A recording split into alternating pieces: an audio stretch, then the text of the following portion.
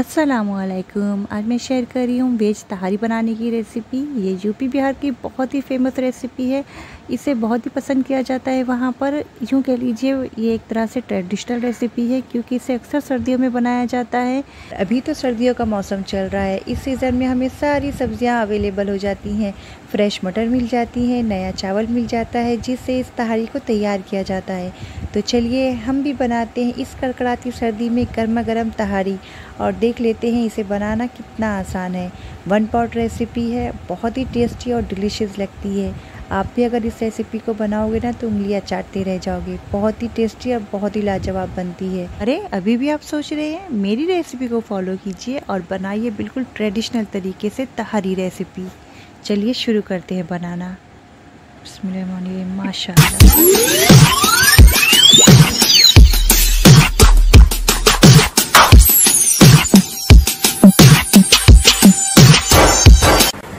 Welcome ऐना के tasty town में मेरे प्यारे व्यूवर सबका वेलकम है। ट्रेडिशनल तरीके से तहारी बनाने के लिए हमने लिया एक पॉट और उसमें हम ले लेंगे फाइव टेबल स्पून ऑयल आप चाहें तो घी भी ले सकते हैं। ये है बरी। महाराष्ट्रियन लैंग्वेज में इसे वड़ी कहते हैं और यूपी बिहार में ये बरी के नाम से जानी जाती है। बहुत ही टेस्टी होती है। इसे सारी दालों को मिक्स करके बनाया जाता है, यानी पल्सेस से ये बनती है और इसमें ढेर सारी सब्ज़ियाँ भी होती हैं तो इसमें न्यूट्रिशन और प्रोटीन भर भर कर है। तो ये पूरी तरह से वेज होती है, बहुत ही टेस्टी होती है। अगर बरी बनाने की रेसिपी आप लोगों ने नहीं देखी देखी है तो मैं लिंक डिस्क्रिप्शन में दे दूँगी, आप ज़रूर जाकर देखिएगा, इसे बनाना कितना आसान है। तो सारी बरी को मैंने फ्राई कर लिया है, बरी हमने 250 ग्राम ली थी और अब इसी ऑयल में हम डाल देंगे कुछ साबत मसाले, जिसमें है वन टेबल स्पून सौंप आठ से नौ दाने हैं काली मिर्च के, दो तेज पत्ते लिए हमने और एक बड़ा टुकड़ा दालचीनी का लिया है। इसे हम ड्रॉप कर देंगे ऑयल में। मसालों को भून लेने के बाद ऑयल में इसमें हम ऐड कर देंगे प्याज। दो प्याज हमने रफली चॉप करके इसमें ऐड किया है, इस तरह से, ये देखिए। अब मैं इसमें डाल दूँगी और इसे हल्की पिंक होने तक भून लूँगी अच्छी तरह से। तो ये बिल्कुल रेडी है। अब हम इसमें ऐड कर देंगे आलू। आप अपनी मर्ज़ी के मुताबिक आलू डालें। मैंने इसमें 250 ग्राम रफली कटिंग करके डाला है। इस तरह से ये देखिए, एक आलू से मैंने चार टुकड़े किए हैं। तो ये मैंने इसमें ऐड कर दिया और इसे मैं भूनूँगी अच्छी तरह से ऑयल में।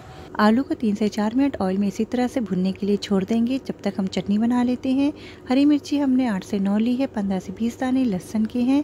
अदरक हम तीन से चार टुकड़े लेंगे। बेसिकली टू टेबल स्पून लहसन और वन टेबल स्पून अदरक होना चाहिए। और अब हम इसमें ऐड करेंगे तेज पत्ता एक हमने तेज पत्ता लिया है और अब हम इसमें ऐड करेंगे एक मुट्ठी सोया। ये बहुत ही अच्छा टेस्ट लेकर आता है तहारी में तो इसे ज़रूर ऐड कीजिएगा। अब जाएगा इसमें खूब सारा धनिया। ये देखिए, ज़्यादा सा धनिया ऐड करें। ये दो मुट्ठी है, इसे हमने इसमें ऐड करके अब थोड़ा सा पानी डालना है और इसको ब्लेंड कर लेना है। ये देखिए, ये रेडी है, इस तरह से इसे पीस लें। इस पर हमने कोई भी गरम मसाला नहीं डाला है, सिवाय एक तेज पत्ते के। मसाला जो पीसा था हमने इसमें ड्रॉप कर देंगे और आलू को अच्छी तरह से मसाले के साथ में भून लेंगे, ताकि जो सोनापन है इसमें आ जाए और पानी अच्छी तरह से सूख जाए मसाले का। ये देखिए, ये बिल्कुल रेडी है। अब हम इसमें ऐड कर देंगे कुछ मटर 250 ग्राम हमने फ्रेश मटर ली है, जो कि आपको इजीली मिल जाएगी। नमक ऐड कर देंगे, अब हम इसमें वन टीस्पून और धनिया पाउडर ऐड करेंगे वन टीस्पून ये देखिए, हल्दी पाउडर डालेंगे ताकि अच्छा सा बढ़िया सा कलर आए। ये देखिए और ज़ीरा पाउडर वन टीस्पून डाल देंगे। सारे स्पाइसेस ऐड कर देने के बाद अब हम इसे भून लेंगे फास्ट आँच पे ताकि जो मसाले का कच्चापन है वो दूर हो और मसाला अच्छी तरह से पक जाए, सारी चीज़ें आलू और मटर में ऑब्ज़र्व हो जाए।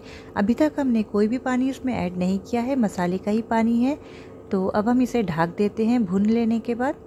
पाँच मिनट के लिए ढाकेंगे ताकि जो मसाला है वो अच्छी तरह से पक जाए। अब हम पाँच मिनट के बाद चेक करेंगे। ये देखिए, मसाले का पानी बिल्कुल सूख चुका है और अच्छी तरह से मसाला भुन गया है। अब इस स्टेज पर हमें इसमें चावल ऐड कर देना है। चावल मैंने 750 ग्राम लिया है। ये देखिए, ये पौना किलो चावल है, इसे मैंने धोकर अभी अभी डाला है, पहले से भिगो कर नहीं रखा था। और इसमें हमने ज़्यादा सा पानी ऐड करना है, क्योंकि जो तहारी होती है, वो गीली होती है। तो पानी हमने ऐसा रखना है कि चावल अच्छी तरह से डूब जाए। अब इसमें हम टमाटर ऐड कर देंगे और अब हम इसमें सोया की भाजी ऐड करेंगे। ये देखिए, मैंने कट करके रखा है। ये मैं सारा इसमें डाल दूँगी। सोए से बहुत ही अच्छा टेस्ट तहारी में आता है।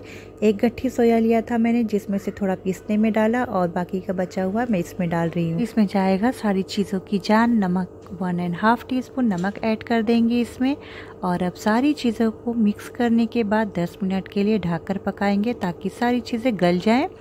सोया भाजी को ज़रा भी स्किप मत कीजिएगा, ज़रूर डालिएगा क्योंकि सोया भाजी जो है वो तहारी की जान होती है, इससे बहुत ही अच्छा टेस्ट आता है। दस मिनट हो चुके हैं। ये देखिए, यहाँ पर हमारी तहारी जो है वो अच्छी तरह से पक रही है। अब हम इस स्टेज पर बरी को ऐड कर देंगे तहारी में। तो इसका लुक देखिए, बिल्कुल गोश्त वाला लग रहा है ना? ऐसा लग रहा है गोश्त को हमने फ्राई करके डाला है, लेकिन ये तो बरी है और बरी का टेस्ट भी किसी गोश्त से कम नहीं। अब हम इससे गार्निश करते हैं ढेर सारी धनिया पत्ती के साथ में। तो खूब सारी धनिया पत्ती डालकर तहारी के टेस्ट में चार चाँद लगाएँ। तहारी बनाने की ये रेसिपी जो मैंने आप लोगों के साथ में शेयर की है, ये पूरी ट्रेडिशनल तरीके से हमने बनाई है। तो आप क्यों सोच रहे हैं? बनाइए और इस कड़कती सर्दी में तहारी का मज़ा लीजिए। गर्मा गर्म तहारी खाएँगे तो आपको बहुत मज़ा आएगा। इसका टेस्ट किसी बिरयानी से कम नहीं, पूरा किचन इसकी खुशबू से महक रहा है। बहुत ही टेस्टी और लाजवाब बनी है। चटकारी भी उतनी ही है जितना हम पसंद करते हैं। एकदम चटकदार, ये देखिए। वाह इसको हमने सर्व किया है। तो आप देख सकते हो, बहुत ही प्यारी इसकी लुक है और इसका टेस्ट भी बहुत ही मज़े वाला है। तो आप भी इसको ट्राई कीजिए, कैसी बनी, ज़रूर बताइए। मिलती हूँ नेक्स्ट वीडियो में। अल्लाह हाफिज़।